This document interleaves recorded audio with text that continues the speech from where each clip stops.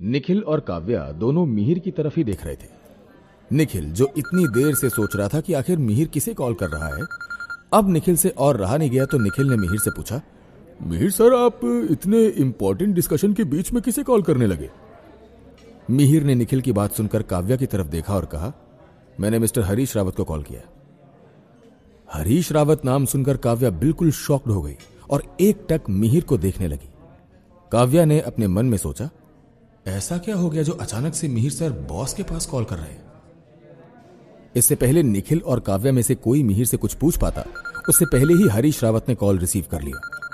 मिहिर ने सोच लिया था कि वो हरीश रावत से अपनी आइडेंटिटी नहीं छिपाएगा और मिहिर ने बिना किसी झिझक के पूछा हेलो क्या ये नंबर मिस्टर हरीश रावत का है?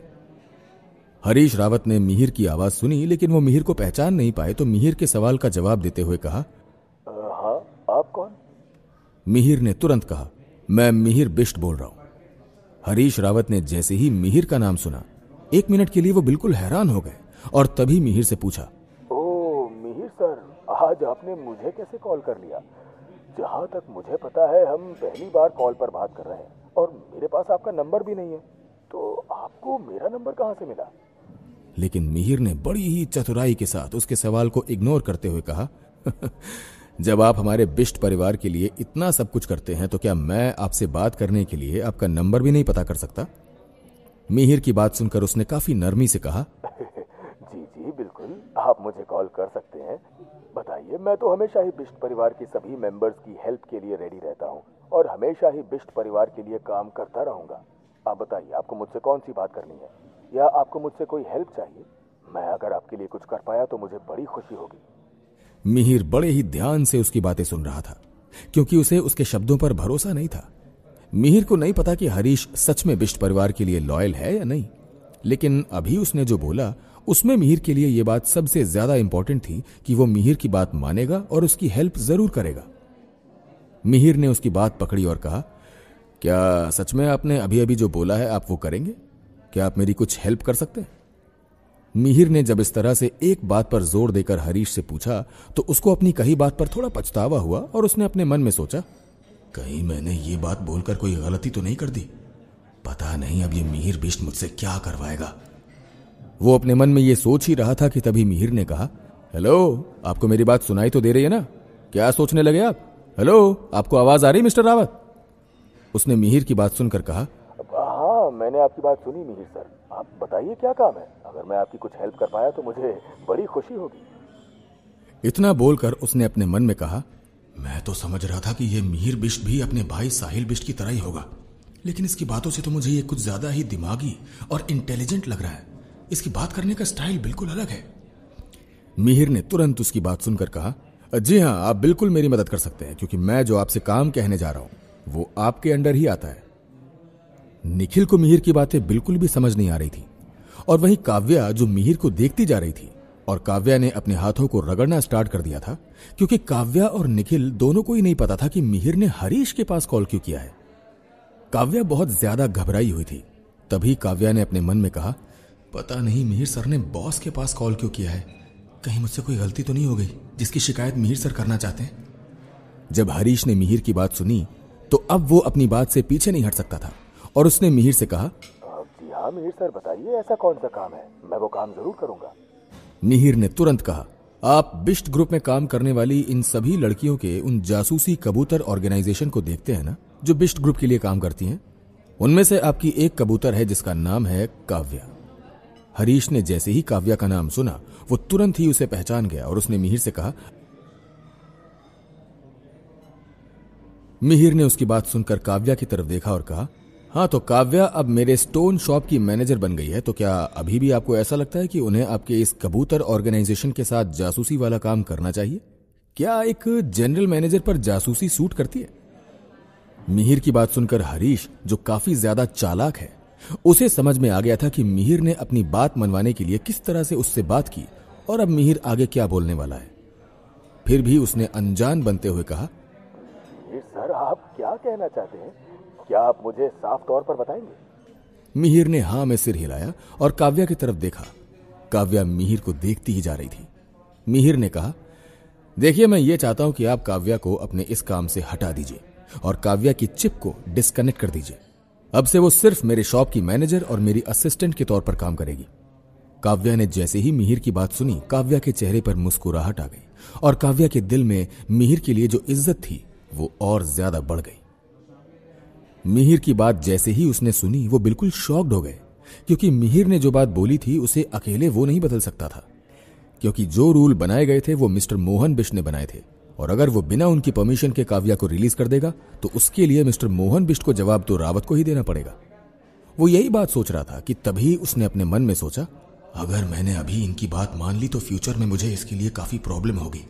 लेकिन ये बात तो खुद मिस्टर बिष्ट के बेटे ने बोली है।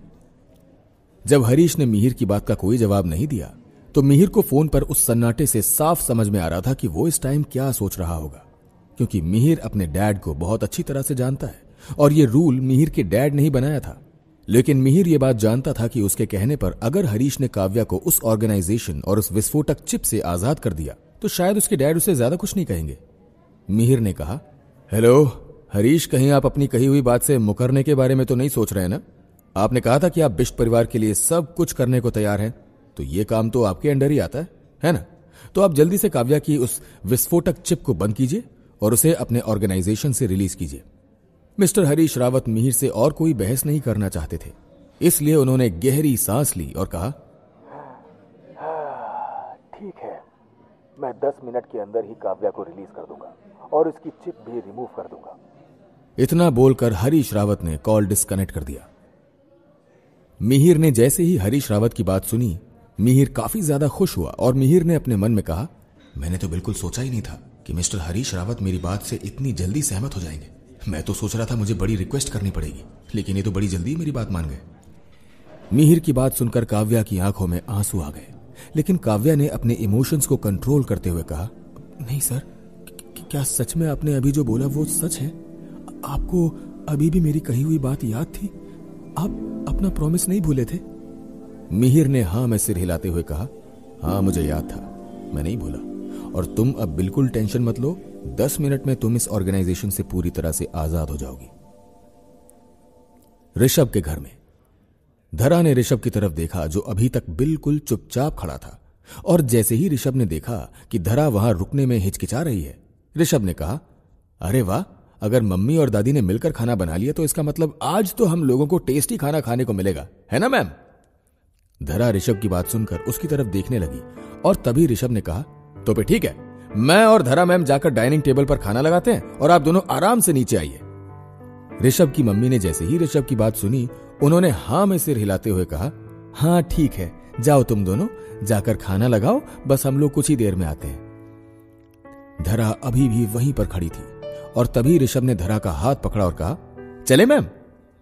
धरा ने ऋषभ की तरफ़ देखकर हाँ में सिर हिलाया और वो दोनों नीचे आकर डाइनिंग टेबल पर खाना लगाने लगे। धरा ऋषभ से ज़्यादा बातचीत नहीं कर रही थी, क्योंकि धरा अभी कल की बात को लेकर थोड़ा अपसेट थी। तभी ऋषभ ने धरा की तरफ़ देखकर कहा, क्या हुआ धरा, तुम इतनी चुप क्यों हो? धरा ने ना में सिर हिलाते हुए कहा, कुछ नहीं, बस ऐसे ही। धरा नहीं चाहती थी कि फिर धरा जल्दबाजी में आकर कुछ ऐसा वैसा बोल दे और ऋषभ फिर से उससे गुस्सा हो जाए। इसलिए धरा अब बहुत सोच समझ कर ऋषभ से बात कर रही थी। और जहाँ तक हो सकता था, धरा ऋषभ के सामने चुपचाप ही खड़ी थी। ऋषभ ने भी ज़्यादा धरा से कुछ नहीं कहा और वो चुपचाप खाना लगाने में बिज़ी हो गए। और तभी ऋषभ की मम्मी और धरा की दादी एक साथ नीचे आई और सबने एक साथ बैठकर डिनर किया। डिनर करते करते काफ़ी अंधेरा हो गया तो ऋषभ की मम्मी ने ऋषभ को धरा और धरा की दादी के साथ उन्हें घर तक छोड़ने के लिए कहा और ऋषभ उन दोनों को उनके घर छोड़ने चला गया। मिहिर, निखिल और काव्या, इन तीनों ने दस मिनट तक आपस में बातें की और जैसे ही दस मिनट पूरे हुए, मिहिर ने काव्या की तरफ़ देखकर पूरे कॉन्फिडेंस से कहा, मैं हमेशा ही बिष्ट परिवार के लोगों के बनाए गए इस रूल के खिलाफ था। इतने साल बीत गए लेकिन मैं अभी तक इस रूल को चेंज नहीं करवा पाया हूँ। लेकिन मैं जल्द ही तुम्हारी तरह बाकी सभी ऑर्गेनाइजेशन में काम करने वाली लड़कियों को इस विस्फोटक चिप से आज़ाद करवा दूँगा। निखिल ने जैसे ही मिहिर की बात सुनी, निखिल ने बीच में ही मिहिर को टोकते हुए कहा, मिहिर सर, आपको अपने बड़े बूढ़ों के द्वारा बनाए गए इस रूल के बारे में ज़्यादा कुछ नहीं बोलना चाहिए, क्योंकि अगर आपके बुज़ुर्गों ने ये रूल बनाया है तो ज़रूर इसके पीछे कोई तो बड़ी वजह रही होगी। और जहाँ तक मेरा मानना है, इसे आप पूरी तरह से खत्म भी नहीं कर सकते, क्योंकि आपके डैड ऐसा होने नहीं देंगे। क्या मिहिर अपना प्रॉमिस पूरा कर पाएगा? और काव्या को उस विस्फोटक चिप से आज़ाद करवा पाएगा? क्या निखिल जो बोल रहा है वो सच है? मिहिर के डैड मिहिर को ये रूल चेंज नहीं करने देंगे? जानने के लिए सुनते रहिए रईस ज़्यादा सिर्फ़ और सिर्फ़ पॉकेट एफएम पर।